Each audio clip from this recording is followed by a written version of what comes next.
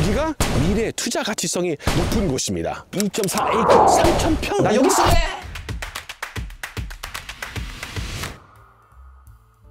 안녕하세요. 스티브 한 부동산 TV의 스티브 한 인사드리겠습니다. 반갑습니다. 오늘 제가 온 이곳은 저번 랭리 땅땅땅 편에 이어서 요번에도 땅땅땅이거든요. 근데 여기는 메이플리치입니다, 여러분. 메이플리치.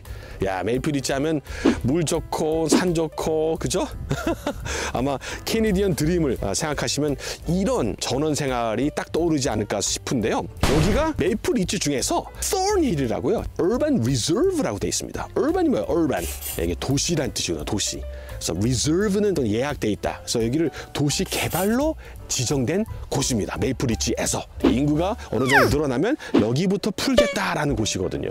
제 고객께서 한 14년 전에 이 땅을 사면서 올 수리를 싹 하고 들어오셨거든요. 그래서 정말 잔디나 외부 관리뿐만 아니라 내부도 수리하시고 잘 가꾸시면서 살아오셨던 것 같아요. 근데 이제 자제분들이 다 크시고 해서 한 14년 만에 이 집을 아주 시원섭섭하게 내놓으셨습니다. 실제로 이렇게 사시면서 즐기고 또는 렌트를 주고 개발이 될 때까지 기다리거나 또는 에어비앤비로 사업을 하실 수 있는 그런 입지 조건을 갖춰진 것 같습니다. 네, 여기도 역시 흐리기 하나도 없고요. 여기서 뭐 결혼식이라든가 돌잔치라든가 배그잔치 아주 그냥 넉넉히 그냥 파티를 열어도 충분할 그런 공간과 또 조용하고 카메라에 이 새소리가 들리는지 모르겠네요.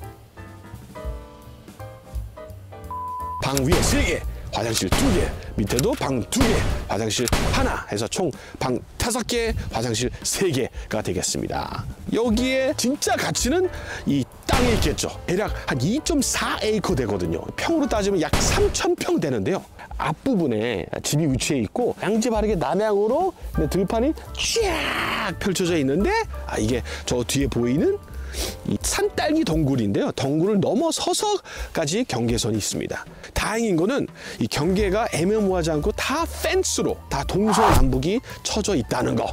집이나 땅 보러 오실 때 정확하게 아 여기까지구나 어느 정도 아이디어를 얻으시고 가실 것 같아요. 아 이 햇빛 이거 보세요. 아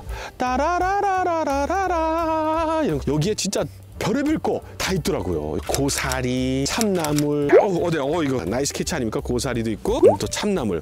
와. 어른도를 알아라. 여기서 보시면 이 덩굴, 그죠? 이 산딸기 덩굴인데요. 아, 이거를 통해서 좀 더 지나가야 네, 이 경계선이 납니다. 경계선 제가 보여드리려고 그래요. 네, 집념의 스티브.